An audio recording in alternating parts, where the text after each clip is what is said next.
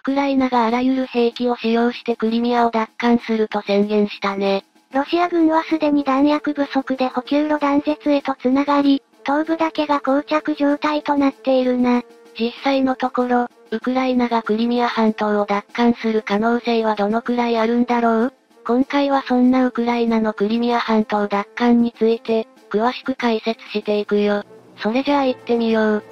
ゆっくりしていってね。ウクライナ軍によってクリミア半島奪還作戦を水面下で着々と進められている中、ウクライナのダニロフ国家安全保障国防会議書記がウクライナ軍はクリミア半島を奪還するために、国際法で禁じられていない範囲において、保有するすべての兵器を用い、あるいは試験的に使用するという内容文を SNS 上で明らかにしたよ。ついに全火力を持ってクリミア半島奪還に乗り出すわけだね。クリミア半島は2014年、当時の新ロシア派でもあり、ウクライナ第4代大統領ヤヌコビッチの政権が倒れた際に、ロシアが軍事介入して併合して以来、国連や西側諸国が認めていないもののロシアの統治下にあるところだな。ダニロフ書記はクリミア半島はウクライナ領であると逆に主張していて、ゼレンスキー大統領も再三にわたってクリミア半島を取り戻すと表明していることから、間もなく実施されると囁かれる大反攻作戦がクリミア奪還を視野に入れていると言って間違いないと思うぜ。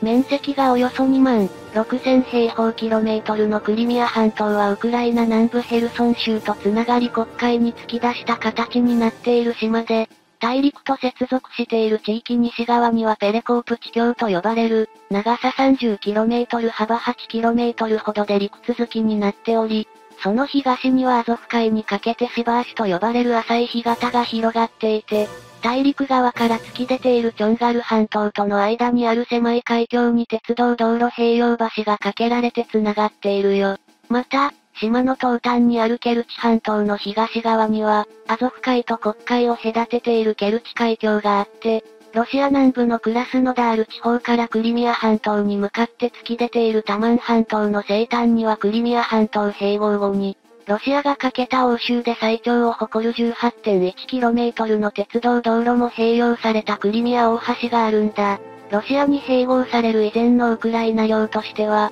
クリミア自治共和国と大きな軍港を持つセバストポリ特別市に分かれていたけど、同国はウクライナでは唯一の自治共和国であり、港湾都市のセバストポリにある軍港がロシア海軍黒海艦隊に、期間限定で貸し出されていたことから、この共和国の管轄外としてウクライナ中央政府の直属都市となっていたね。そして2014年に併合された後、クリミア自治共和国はクリミア共和国と名前を変えてロシア連邦に編入されてロシア領となり、セバストポリはロシア連邦内で共和国扱いとなる連邦市として生まれ変わったってわけ。ロシアが2014年にクリミア半島を併合した経緯は、マイダン革命によって新ロシア派のヤヌコビッチ大統領が失脚して、その政権の崩壊をクーデターによるものとロシアが位置づけ、ウクライナへの軍事介入を行って統治し、その際にクリミア半島はロシア軍の完全支配下に置かれたが、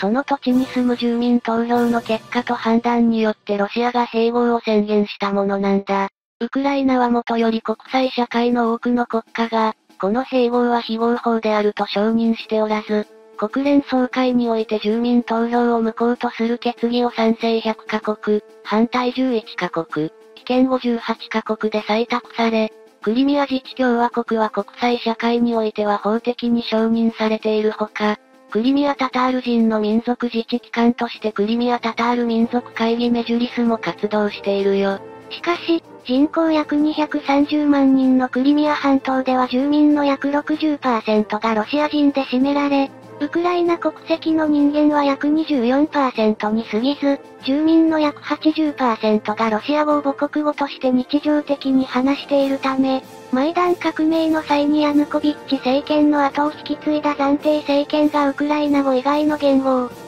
地域公用語として認める法律を廃止した際には反発する動きがあったくらいだな。これは新ロシアという観点から見ても、東部ドンバス地方のルハンシク州やドネツク州の新ロシア派武装勢力の支配地域と同様の現象が起きているね。そして、ゼレンスキー大統領が2022年8月29日の国民向けビデオ演説の中でウクライナ軍はクリミア半島が併合されて以降、奪還を目標に掲げてきた。今回の侵略戦争は、ロシアが我々の領土であるクリミア半島を奪い、さらに東部ドンバス地方をも奪おうとしたことから始まった。この戦争は、我々がクリミア半島をロシアから解放することによって締めくくらなければならないと主張したため、身の危険を感じた多くのロシア系住民がクリミア半島からロシア本土へ脱出したみたい。クリミア半島はウクライナ南部ヘルソン州やザポリージャ州に展開するロシア部隊の出撃地となった場所でもあり、昨年4月11日にはプーチン大統領によってテロ警戒レベルが上から2番目の黄色に引き上げられており、島に駐留するロシア軍部隊ではウクライナ軍の進軍に備えてクリミア半島の要塞化を進めていることが伝わっているんだけど、クリミア半島のロシア系住民は今までの経緯から不安を強くしているんだと思う。ゼレンスキー政権においてクリミア問題を統括していてクリミアタタール人でもあるタミラ・タシェワ大統領代表が、ウクライナの国営テレビに出演して2014年にロシアが一方的に併合したクリミア半島をウクライナが奪還しようとすることに住民が不安を募らせていて、大勢のロシア系住民が家を捨て、クリミア半島から脱出していると述べたよ。2014年以降、クリミア半島には50万人から80万人のロシア人が違法に暮らしているとゼレンスキー政権から言われていて、ウクライナがクリミアを奪還した際にロシア系住民にはウクライナの法律や国際法が適用され、強制的に国外退去処分となってしまうことを恐れているんだろうな。また、クリミア半島の先住民族であるタタール人を支援している、エミール・イブラギモワ氏がウクライナのラジオ局のインタビューにおいてロシア系住民の多くは、いずれウクライナ軍が近い将来、クリミアを解放すると感じており、ウクライナから報復を受けることを恐れてパニック状態になっていると述べていたぜ。2022年8月にはクリミア半島南西部にあるロシア海軍の航空基地で爆発が発生し、ウクライナ軍による攻撃の可能性が高いと報じられた際にも、多くのロシア系住民がクリミア大橋からロシア南部のクラスノダールに逃れ、その車列によって渋滞が発生している様子の映像が SNS でアップされていたんだ。ウクライナでは2023年4月2日にダニロフ書記がクリミア解放に向けた12のステップと題したクリミア半島の解放計画を発表しており、その内容はクリミア半島が解放されてウクライナ領に戻った場合のクリミアや、ロシアの占領政策に協力した住民の取り扱いに関する12項目に及ぶ方針で、ロシアが同等を併合した2014年2月以降の不動産取引の無効化、ロシアの占領政策協力者の起訴、ウクライナへの敵対行為を指導したロシアの協力者に対する厳しい処罰などの罰則のほか、ロシアのプロパガンダに共鳴した住民に対する政策などが示されていたね。ウクライナの脅しによってクリミア半島から脱出するロシア系住民が絶えず、ロシアが指名したクリミア共和国のセルゲイ役所の不主張は、クリミア半島にはウクライナの反転攻勢に対する備えはできているとして住民を安堵させようと努力しているみたい。それじゃあ今回はこの辺で、よかったら、チャンネル登録してね。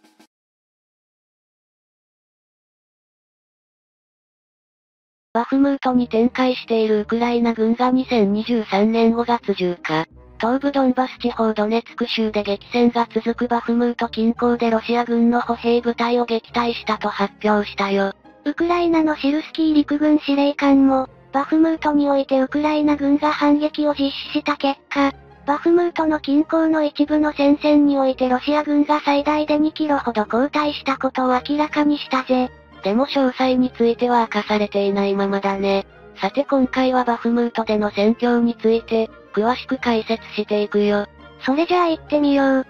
ゆっくりしていってね。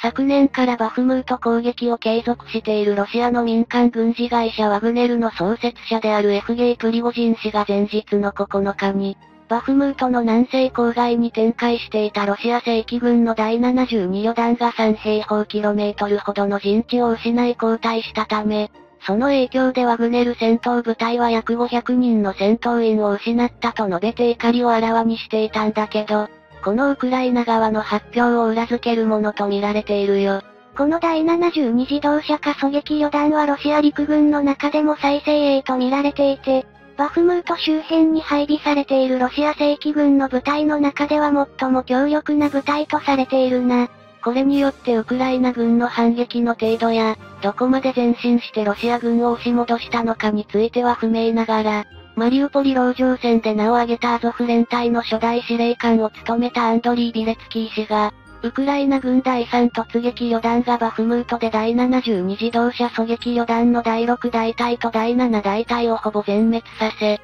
さらにワグネル戦闘部隊を撃破して領土を奪還したと主張して、ロシア軍使っていた戦闘車両の多くを破壊して、かなりの数のロシア兵を捕虜として捕らえたことを明らかにしたみたい。またビレツキー氏は、このロシア軍第72旅団の撃退に成功した反撃作戦についてさらに、戦線の幅3キロ及び重心2.6キロの戦域で実施されたとしてこの地域がロシア占領軍から完全に解放されたと説明しており、プリゴジン氏が3平方キロメートルほどの陣地を失ったとの発言に関して、面積の多少の違いはあるもののそれを裏付けているとの声が出ているんだ。またウクライナ軍第3旅団の SNS における公式チャンネルにおいても、ここに日間、バフムート南西部での反撃によって64人のロシア兵を排除したとして、ロシア軍に損害を与えた旨の情報を開示しており、ウクライナ軍当局も10日に第3旅団の第2大隊が、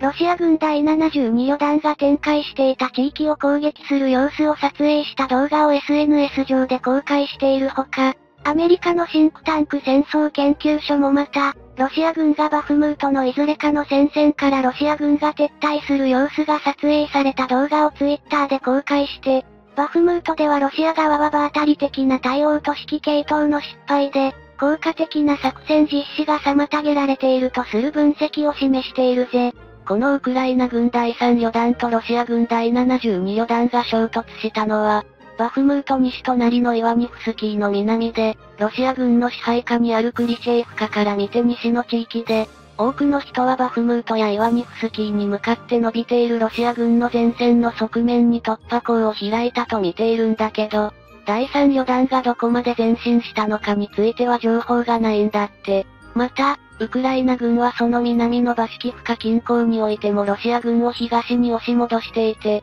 クルジュミフカやオザリアニフカ方面に向けて進撃しているとの情報もあるんだけど、こちらについても詳細はよくわかっていないというよ。いずれにしてもこれらの情報を総合すると、バフムート陥落寸前にまで追い込まれていたウクライナ軍が次第に攻勢に出ていることは間違いないと見られ、プリゴジン氏が指摘していた通りにウクライナ軍が側面を攻撃していると判断できるな。さらにドネツク州の南、州都ドネツクの西側においてもウクライナ軍が攻勢に出ているとみられ、マリンカの南に位置するポブジェダ付近まで進撃していたロシア軍部隊を東に押し戻して、ブーレダーの南あたりにおいてもエホリフカ方向に向けてウクライナ軍が前進しているのが動画や画像などで確認されているぜ。その他、ロシア軍が支配している可能性が高いと見られているベリカノボシルカの南東の地域でも、両軍の部隊が交戦していることが確認されているけど、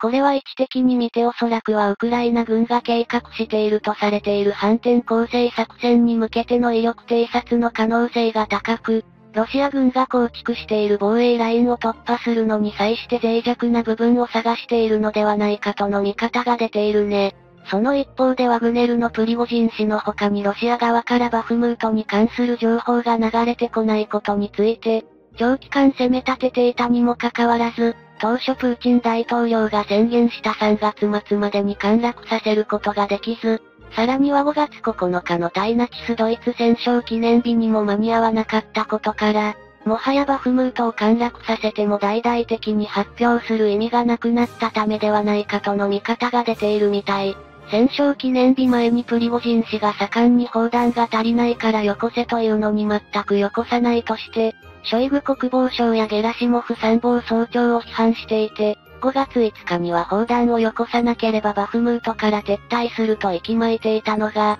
翌日6日に砲弾の補給が約束されたのでバフムートに残るとそれまでに発していた撤退するとの発言を翻したんだ。しかし、おそらくは戦勝記念日に間に合わなかったことでロシア正規軍はウクライナ軍の反転攻勢に備える方針に変わったと思われ、バフムートから部隊を撤退させてその他の戦線の守りを固めようとしている可能性があるとの指摘があり、まだ砲弾が要求した量の10%しか届いていないとして我々は騙されたと騒ぐプリゴジン氏が、バフムートを陥落させられなかった責任を問われることを恐れて、ロシア正規軍が撤退したことがバフムートを落とせなかった理由だとしてワグネルの責任とされることを回避するために、今から懸伝しているのではないかとの見方もあるぜ。身内同士の責任のなすりつけ合いが始まるんだね。ウクライナに付け入る隙を与えるようなものだと思うけど、シルスキー司令官が11日に明らかにしたところによると、よく訓練されて連度が高いワグネルの部隊がかなり疲弊しており、その代わりに訓練の不十分なロシア軍部隊が配置されたが、戦闘で我が軍に敗北して撤退しているとしていることからも、ここまで攻勢を続けてきたワグネル戦闘部隊の損耗が激しいことはまず間違いないだろうとされ、バフムートにおけるロシア軍の戦線が一気に崩壊する可能性が出てきたと指摘する声も聞かれているよ。ここまで攻勢を続けてきたワグネル戦闘部隊の損耗が激しいことはまず間違いないだろうとされ、バフムートにおけるロシア軍の戦線が一気に崩壊する可能性が出てきたと指摘する声も聞かれているよ。バフムートを守る部隊の一つであるウクライナ領土防衛隊の旅団を率いるロマン・フリシチェンコ旅団長が共同通信のオンライン取材に応じ、ロシア軍は火炎放射器や榴弾砲及びロケット砲による攻撃を激化させているが、バフムート市内はウクライナ軍の制御下にあるとしてこの先も徹底抗戦の姿勢を継続することを強調したほか、ロシア軍の後方の武器庫や補給路を効果的に叩くため、長射程の攻撃兵器が欲しいと訴えたんだ。そしてフリシチェンコ旅団長は、現在バフムートに展開しているウクライナ軍部隊は、領土防衛隊が主力であることを明らかにした上で、領土防衛隊の隊員は高い士気を保っており、装備や兵器充実していて問題はないと語ったな。このフリシチェンコ旅団長のコメントによって、バフムートでワグネルやロシア正規軍の猛攻に耐えていたのがウクライナ軍の正規軍ではなく、領土防衛隊であることが判明したぜ。西側のメディアや軍事専門家やインターネットに寄せられたコメントの中には、ウクライナ軍がバフムートに西側諸国から供与された戦車で編成された部隊を増援として送り込み、消耗させていると指摘する声があったがそれは単なるデマに過ぎず、バフムートを命がけで守っていたのは予備役による領土防衛隊であったことから、ウクライナ軍が西側の戦車によって編成された機構部隊を、すべて反転攻勢に投入できることが明らかになったとされているんだ。それじゃあ今回はこの辺で、よかったら、チャンネル登録してね。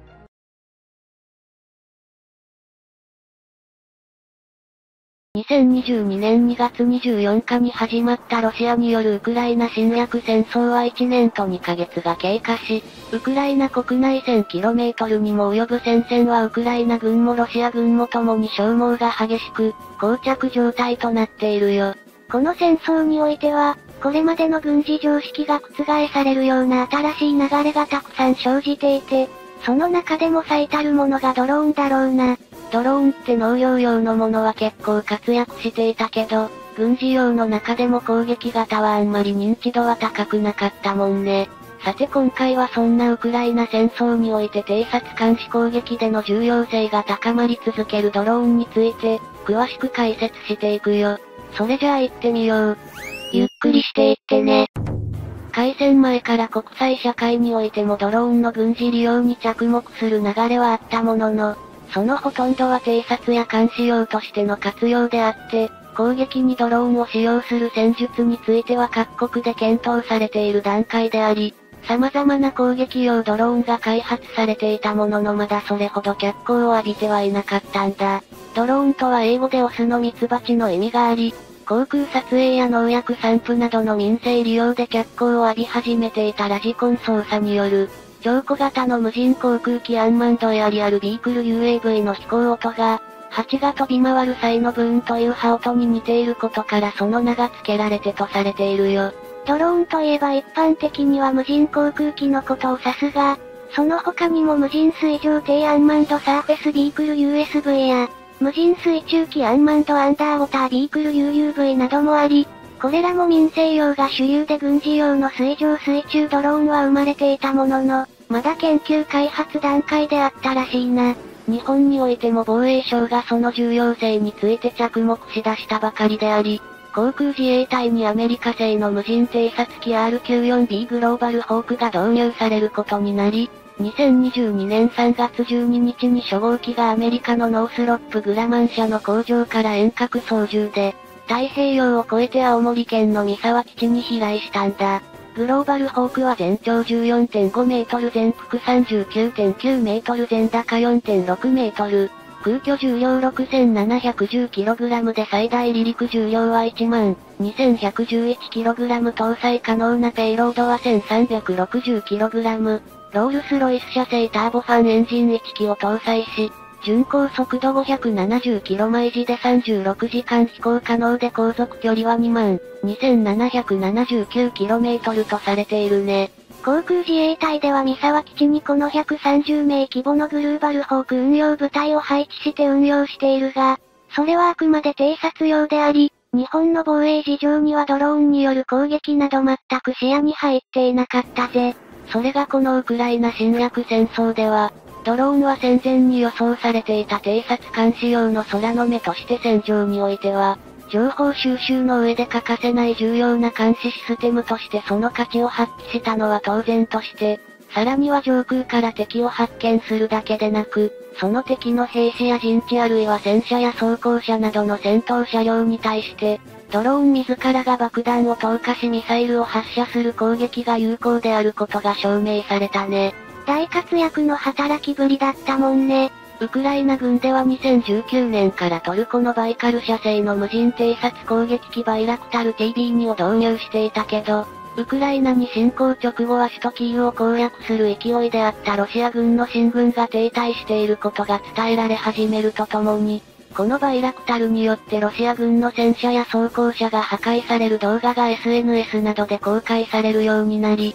ウクライナ軍がバイラクタルを巧みに活用して最高の戦果を上げていることが明らかにされたってわけ。バイラクタルは中高度長時間対空型無人戦闘航空機 UCAV に分類され、基本的には遠隔操作であるんだけど、自律的飛行も可能で、そのシステムは6機の本体、2台のトラックで移動可能な地上管制ステーション GCS、3台の地上データ端末 GDT、2台の遠隔ビデオ端末 RVT と地上支援装置で構成され、人工衛星情報なども利用しながら地上のパイロットが操縦を担当し、その他にペイロードオペレーター、ミッションコマンダーがそれぞれ指揮、制御、監視を行って運用されるよ。主翼下に4箇所のハードポイントがあり長距離対戦車ミサイルや小型精密誘導爆弾、レーザー誘導ミサイル及びロケット弾などを最大 150kg 搭載でき、中でもレーザー誘導滑空爆弾 MAM は 200mm の厚さの装甲を貫通する威力があり、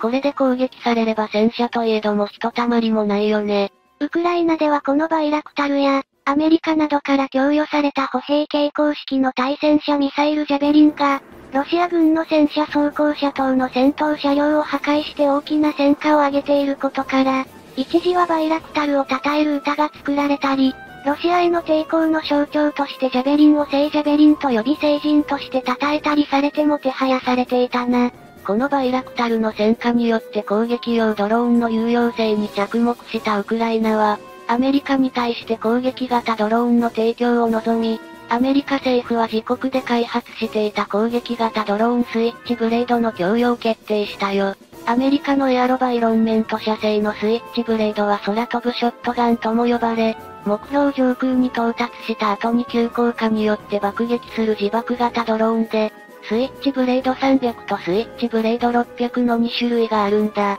2010年にアフガニスタンに派遣されたアメリカ軍が装備していたもので、長さ約60センチメートル、重量 2.7kg ほどの大きさのためにリュックなどで歩兵が携帯可能であり、1機のコストが6000ドル約72万円ほどと安価であることが特徴とされているね。衝撃によって爆発する弾頭を有し、上空を徘徊しながら操縦士の視界外の目標を発見すると追跡して攻撃することが可能で、小型のスイッチブレード300では最大 10km 先の目標を攻撃でき、大型のスイッチブレード600であれば 32km 以上先の目標も攻撃できるとされ、いずれのサイズのドローンシステムも数分で発射準備が完了となり発射することが可能なんだって。ちなみに、このような自爆攻撃型ドローンのことを神風ドローンと呼ぶ風潮があり、特に海外のメディアが自爆攻撃を表現する名称として使用していたが、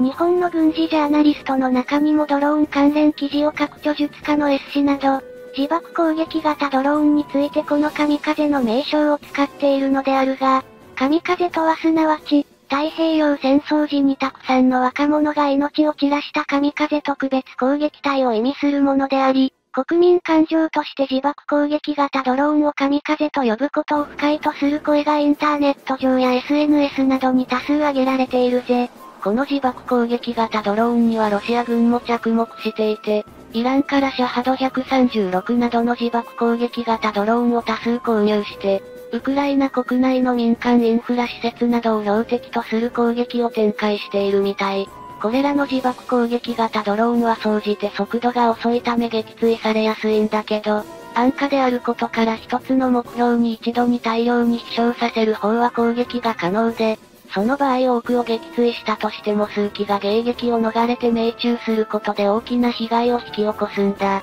そしてウクライナ軍においても、アメリカをはじめとする北大西洋条約機構 NATO 諸国から供与された、スイッチブレードなどの自爆攻撃型ドローンの他に、自国の民生用ドローンを回収して使用したり、安価であるために積極的に購入したりして保有数量を増やそうとしているな。ウクライナは先日、アメリカのワンウェイアエロスペースという、これまでほとんど知られていなかった兵器メーカーの AQV100 スカルペルという爆弾を搭載した小型ドローンのライセンス生産契約を結び、ウクライナ国内に工場を作り毎月数千機規模で生産するんだって。また、オーストラリアの SYPAQ システムズが開発して製造しているコルボ PPDS と名付けられた、段ボール製の安価に購入できる使い捨てのドローンを導入する計画があるとの情報があり、このドローンを自爆攻撃型ドローンに回収して使用するのではないかとする声があり、この先様々な自爆攻撃型ドローンが登場する可能性があるとの見方が広がっているよ。それじゃあ今回はこの辺で、よかったら、チャンネル登録してね。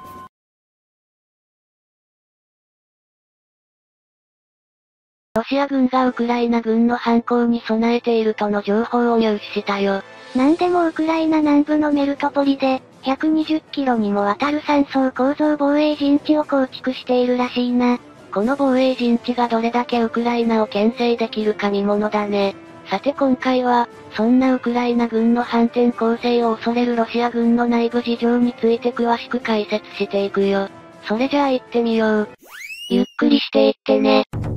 ウクライナ東部で激戦が続いているバフムートでは、民間軍事会社ワグネルの創設者プリゴジン氏が市街地の8割を制圧したと主張しているのに対して、ウクライナ軍側では否定するなどして戦況情報が錯綜しているんだけど、アメリカのシンクタンク戦争研究所でもロシア側が優勢で76.5%を制圧していると分析していることから、ウクライナ軍が押されつつあることは間違いないだろうね。ロシア軍の攻勢がバフムートを除いて全般的に停滞している現状の中、ウクライナ軍は NATO 加盟国やロシアの侵略を明日は我が身と受け止める東欧諸国などからの軍事支援を受けて、間もなく反攻作戦を展開することが予測されていて、特に南部のザポリージャ州からアゾフ海に出てヘルソン州を奪還し、その先のクリミア半島の奪還まで視野に入れている可能性が高いと指摘されているよ。イギリス国防省が4月12日に発表した戦況分析を見ると、3月下旬頃からウクライナ軍がザポリージャ州メリトポリ市内や周辺にハイマースによるピンポイント攻撃を加えていることが記され、ウクライナ軍が反攻を仕掛ける降参が高まっているメリトポリの北方地域では、ロシア軍が120キロにわたって残壕が掘られた山層構造防衛陣地を構築していることが衛星画像などから明らかになったんだ。この山層構造防御陣地に関しては、最前線にいる部隊の後方に援護部隊が2段階に配置される形となり、イギリス国防省では防御側の兵力が多く、後方からの砲撃による支援がある場合なら手強い防御陣地となる可能性があるが、東部バフムートに兵力を集中していると見られるロシア軍がこの地域に分厚い兵力を展開できているか疑問であるとの評価を下しているぜ。またアメリカのシンクタンク戦争研究所も4月11日に、ザポリージャ州にはロシア軍の特殊部隊が展開している可能性を指摘していて、ウクライナ軍の反攻を阻止する動きを見せていることを述べているが、これが精鋭スペツェナズを指しているかどうかは不明だな。この三層構造防御陣地に関しては、これまでのロシア軍の戦術として伝えられるような後方の陣地に特戦隊を配置するのではないかと見られているよね。これまでもロシア軍は最前線の兵士が戦線離脱して逃亡したり降伏したりすることを防ぐために、後方に特戦隊と呼ばれる部隊を配置して、命令に逆らって交代しようとするだけでも容赦なく味方部隊に銃を向ける部隊がいると噂されているからね。ロシア軍ではウクライナ軍兵士に直接撃たれるよりも、味方との同士討ちや特戦隊によって射殺される兵士の方が多いのではないかと揶揄されるほど、その活動は徹底しており、戦争研究所が示している特殊部隊とはロシア側が発表していた。ウクライナ軍の新機械化部隊対策用に対戦車ミサイルなどを装備した部隊、あるいは特戦隊としての役割を担っている部隊ではないかとの見方をする意見も多いぜ。去年のハルキウ州における反攻作戦の時用に、ウクライナ軍は反攻作戦については観光令が徹底され、信頼できる情報はほとんど出されておらず、今もザポリージャ州が有力視されていながらも絶対的な情報は出ていないよ。それは当然とする中で、ウクライナのデニス・シュミハリ首相は4月11日、アメリカの新聞によるインタビューで、ウクライナ軍の反攻は遅くとも夏までに始められると先延ばしの意見が出ていて、これまでウクライナ政府内で囁かれていた反攻開始の時期は4月下旬ないしは5月とする見方が多かったんだけど、一転して不透明になりつつあるんだ。この背景には、ニューヨークタイムズ紙が報道したアメリカ国防省の機密文書が漏洩して SNS などで流出した事件によって、ウクライナ侵略戦争における様々な情報が明らかにされたことが最大の理由として挙げられるんじゃないかな。ウクライナ側はこの機密文書に書かれた情報は古いものであり、この情報に基づいた作戦はすでに変更されていると発信したけど、それを言ったために、その文書が本物であると事実上認める形になってしまい、各方面に様々な波紋を引き起こしており、それぞれの文書には意図的に改ざんされた痕跡があると言われているが、実際のところ何が真実であったのかブラックボックス化してしまったってわけ。特にウクライナの反攻計画に関しては、アメリカ紙ワシントンポストが4月12日にウクライナ軍が計画している、大規模な反転攻勢の開始時期に関して、天候や米欧からの軍事支援が到着しないなど複数の要因で遅れていると報じ、さらにはインターネット上にアメリカ政府の機密文書が流出した問題で、ウクライナ軍の弱点が明るみになったことによって事態が複雑化してしまっているとも指摘していて、新ロシア派の喜ぶ形になっているぜ。このような状況の中で次の日の13日には、アメリカ連邦捜査局 FBI は、アメリカ政府の機密文書を漏洩させた犯人として、マサチューセッツ州の空軍州兵の21歳の兵士を逮捕して幕を閉じようとしたね。FBI の調べによると、この兵士が機密文書を撮影し、オンライン通信サービスのディスコードの中で招待制のグループ内で共有したことが発端であると言われていて、このグループにはロシア人やウクライナ人などのメンバー25名ほどが参加していることからまた瞬く間に広がったんだと思うよ。この男性兵士は昨年末頃から週に数件のペースでアメリカ政府の機密情報をグループ内で共有し始めていたらしく、当初は機密文書の内容を書き写したものをアップしていたけど、次第に文書そのものを撮影した画像を共有するようになったみたい。このディスコードのグループメンバーの話によると、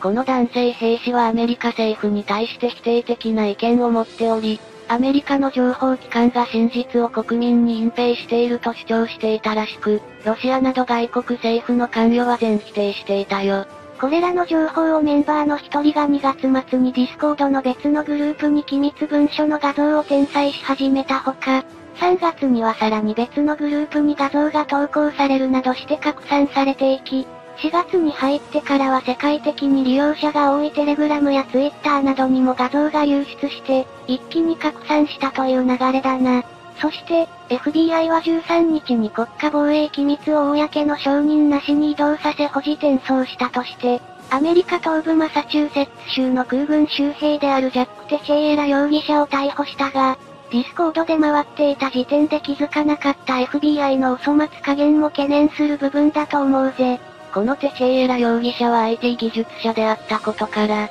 若くして機密情報を扱っているアメリカ国防総省のネットワークへのアクセス権を保有していたために今回逮捕することができたってわけ。今回の機密情報漏洩の原因が判明したことで、今後は防げると見られているが、犯行計画に見直しを迫られたウクライナ軍の次の展開を考えた際に、どのような犯行作戦に出てくるかというと、おそらく大きな変化はないという見方が強いな。今のザポリージャ州におけるウクライナ軍の動きに注目すれば、メリトポリ奪還を目指しているのは間違いないし、あとは西側諸国からの戦車や弾薬の届くタイミングを見計らって実行し、その後は予想通りにクリミア奪還も見据えているんだろうね。それじゃあ今回はこの辺で、よかったら、チャンネル登録してね。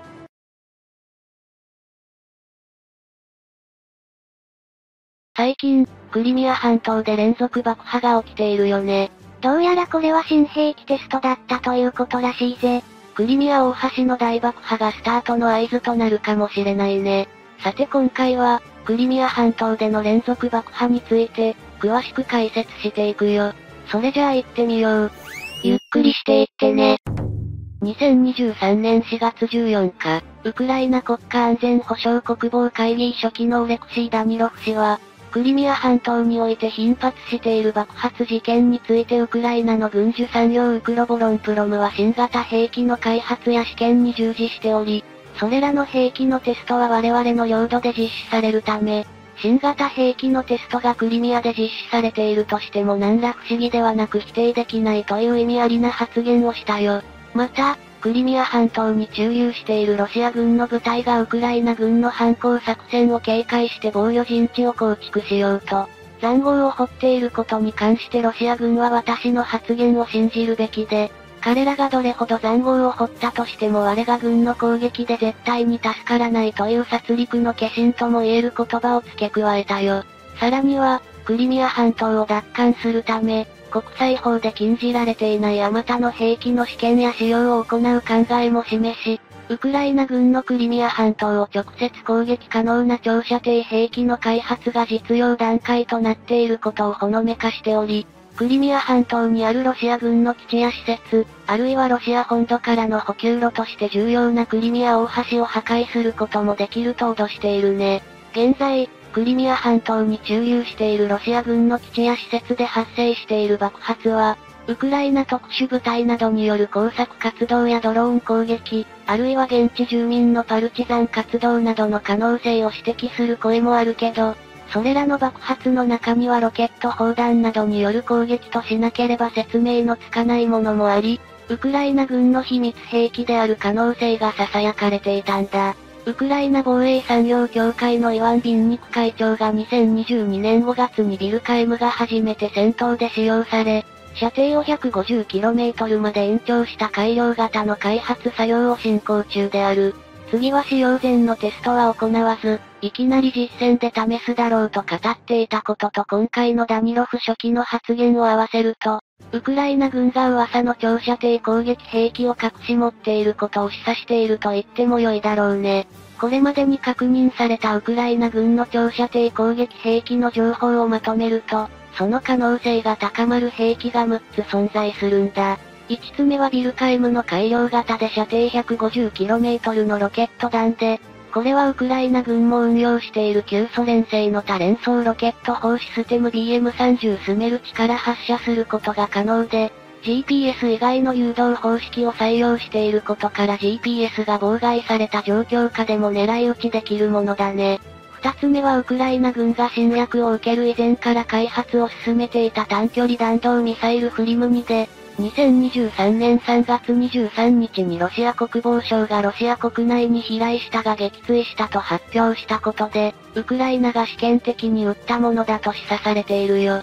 1991年に旧ソ連が崩壊後、ウクライナ国内に配備されていた全ての核兵器を放棄した際に、核弾頭を搭載可能な大陸間弾道ミサイル ICBM も放棄したため、ウクライナ軍が保有している弾道ミサイルは射程 120km の OTR-21 統治下 U だけとなっていたよな。時の経過とともに統治下 U の老朽化が進んで、近代化改修のために必要な技術知識や部品などはロシアの軍需産業から提供してもらうこともできず、国家安全保障国防会議が2006年に開かれ統治下 U よりも優れたミサイルシステムの国内開発を進めることを決定したぜ。その後、2016年にはサウジアラビアから4000万ドル約54億円の研究開発費を提供されて共同開発をする流れとなり、2019年4月に2発のフリムニが完成したことが報じられており、その後はウクライナとサウジアラビアそれぞれが1発ずつを保有して試験することになっていたんだけど、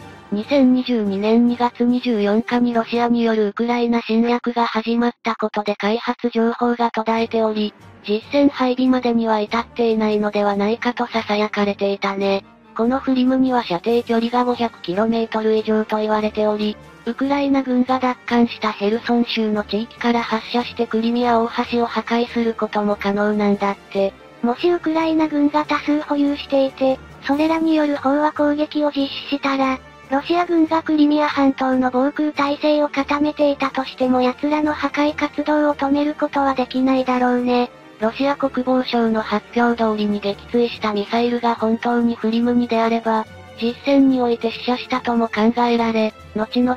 ビンニク会長の発言が裏付け証拠にもなるからね。そして、三つ目は国会上でロシア海軍国会艦隊の機関であった、スラバ級ミサイル巡洋艦モスクワを昨年の4月に撃沈したとされている、ウクライナの独自開発によって誕生した射程 300km の地対艦巡航ミサイルネプチューンの対地攻撃型への回収が完成したということになるよ。射程 300km であれば、ヘルソン州の州都ヘルソン市周辺からでもクリミア半島が射程圏内に入り、ドニプロ川を溶かしてノバカホフカまで進出すればクリミア大橋も余裕で射程に入るため、実用化に成功していればロシア軍にとって脅威となるんだ。四つ目は、軍需産業ウクロボロンプロムが昨年10月17日に、最大 1000km の作動範囲と 75kg の弾頭重量を持つ無人航空機の開発がほぼ完了したと発表した UAV だね。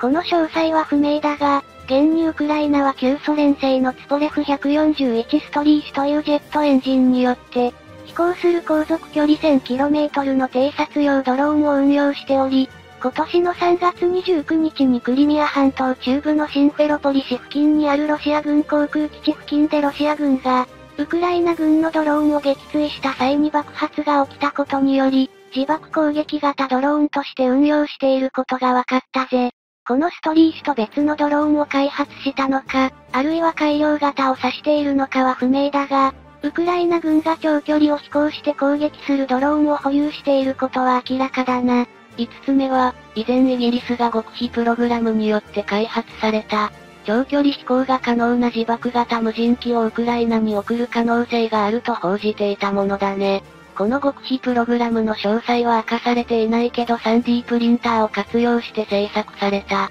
垂直離着陸タイプの無人機やデルタ翼の自爆型無人機が含まれているとアメリカのメディアが伝えており、イギリス政府もウクライナに提供する長距離攻撃兵器を使用すれば、ロシア軍のインフラ攻撃能力を混乱させ、前線にかかる圧力を緩和するのに役立つと述べていたよ。最後の6番目は、アメリカが提供を約束した高機動ロケット砲システムハイマースから、発射可能な射程 150km の地上発射型小直径爆弾通称 GLSDB だね。これは弾頭に GBU-39SDB という航空機用の小直径 GPS 誘導滑空爆弾を使用し、ハイマースや M207 などのマース用の M26 ロケット弾のロケット推進ブースターを組み合わせたロケット弾なんだ。ただし、GLSDB は現時点でアメリカ軍でも配備されていないために在庫がなく、弾頭の GBU-39SDB の製造元のアメリカのボーイング社と、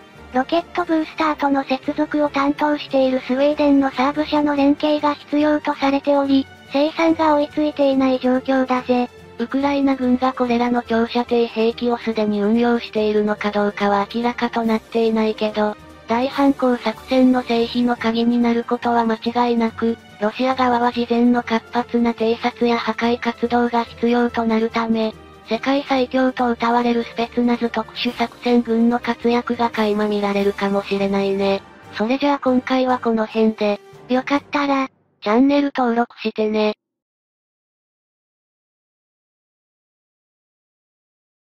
クリミア半島で連続爆破が起きているんだけど、どうやらこれって新兵器のテストだったみたいだよ。ハイマースによるテストっていうのがもっぱらの噂だな。クリミア大橋を爆破するための試験段階ってことかなこれがスタートの合図になりそうだね。今回はそんなクリミア半島での連続爆破について、詳しく解説していくよ。それじゃあ行ってみよう。ゆっくりしていってね。2023年4月14日、ウクライナ国家安全保障国防会議書記のオレクシー・ダニロフ氏は、クリミア半島において頻発している爆発事件についてウクライナの軍需産業ウクロボロンプロムは新型兵器の開発や試験に従事しており、それらの兵器のテストは我々の領土で実施されるため、新型兵器のテストがクリミアで実施されているとしても何ら不思議ではなく否定できないという意味あり発言をしたよ。また、クリミア半島に駐留しているロシア軍の部隊がウクライナ軍の反攻作戦を警戒して、防御陣地を構築しようと残壕を掘っていることに関してロシア軍は私の発言を信じるべきで、彼らがどれほど残壕を掘ったとしても我が軍の攻撃で絶対に助からないという殺戮の化身とも言える言葉を付け加えたんだ。さらには、クリミア半島を奪還するため、国際法で禁じられていないあまたの兵器の試験や使用を行う考えも示し、ウクライナ軍のクリミア半島を直接攻撃可能な長射程兵器の開発が実用段階となっていることをほのめかしており、クリミア半島にあるロシア軍の基地や施設、あるいはロシア本土からの補給路として重要なクリミア大橋を破壊することもできると脅しているみたい。現在、クリミア半島に駐留しているロシア軍の基地や施設で発生している爆発は、ウクライナ特殊部隊などによる工作活動やドローン攻撃、あるいは現地住民のパルチザン活動などの可能性を指摘する声もあるけど、それらの爆発の中にはロケット砲弾などによる攻撃としなければ説明のつかないものもあり、ウクライナ軍の秘密兵器である可能性が囁かれていたね。ウクライナ防衛産業協会のイワン・ビンニク会長が2022年5月にビルカイムが初めて戦闘で使用され、射程を 150km まで延長した改良型の開発作業を進行中である。次は使用前のテストは行わず、いきなり実戦で試すだろうと語っていたことと今回のダニロフ初期の発言を合わせると、ウクライナ軍が噂の長射程攻撃兵器を隠し持っていることを示唆していると言っても良いんじゃないかな。これまでに確認されたウクライナ軍の長射程攻撃兵器の情報をまとめると、その可能性が高まる兵器が6つ存在するよ。1つ目はビルカイムの改良型で射程 150km のロケット弾で、これはウクライナ軍も運用している旧ソ連製の多連装ロケット砲システム BM30 スメルチから発射することが可能で、GPS 以外の誘導方式を採用していることから GPS が妨害された状況下でも狙い撃ちできるものだね。二つ目はウクライナ軍が侵略を受ける以前から開発を進めていた短距離弾道ミサイルフリムニで、2023年3月23日にロシア国防省がロシア国内に飛来したが撃墜したと発表したことで、ウクライナが試験的に撃ったものだと示唆されているよ。1991年に旧ソ連が崩壊後、ウクライナ国内に配備されていた全ての核兵器を放棄した際に核弾頭を搭載可能な大陸間弾道ミサイル ICBM も放棄したため、ウクライナ軍が保有している弾道ミサイルは射程 120km の OTR-21 統地下 U だけとなっていたな。時の経過とともに統地下 U の老朽化が進んで、近代化改修のために必要な技術知識や部品などはロシアの軍需産業から提供してもらうこともできず、国家安全保障国防会議が2006年に開かれ統治下 U よりも優れたミサイルシステムの国内開発を進めることを決定したぜ。その後、2016年にはサウジアラビアから4000万ドル約54億円の研究開発費を提供されて共同開発をする流れとなり、2019年4月に2発のフリム2が完成したことが報じられており、その後はウクライナとサウジアラビアそれぞれが1発ずつを保有して試験することになっていたのだが、2022年2月24日にロシアによるウクライナ侵略が始まったことで開発情報が途絶えており、実戦配備までには至っていないのではないかと囁かれていたってわけだ。このフリムには射程距離が 500km 以上と言われており、ウクライナ軍が奪還したヘルソン州の地域から発射してクリミア大橋を破壊することも可能であり、もしウクライナ軍が多数保有していて、それらによる飽和攻撃を実施したら、ロシア軍がクリミア半島の防空体制を固めていたとしても奴らの破壊活動を止めることはできないだろうな。ロシア国防省の発表通りに撃墜したミサイルが本当にフリムニであれば、実戦において死者したとも考えられ、後々、